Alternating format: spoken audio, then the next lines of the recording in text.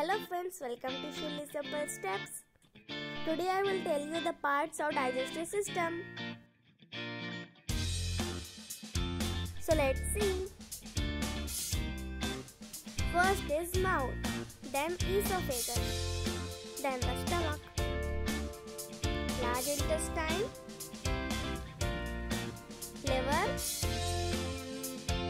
and the small intestine. You can watch